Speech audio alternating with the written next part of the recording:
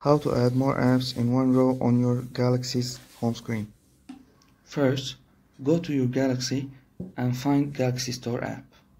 Open it and tap on the search icon and type Good Lock.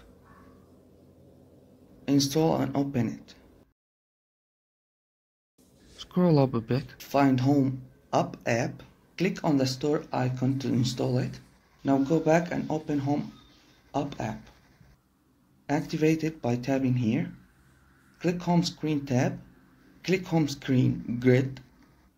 Here you can choose 5 by 6, 6 by 7, and even 7 by 7. Then click Apply. Go back to your home screen. Now you can fit 7 apps in one row. And the same thing for the app drawer.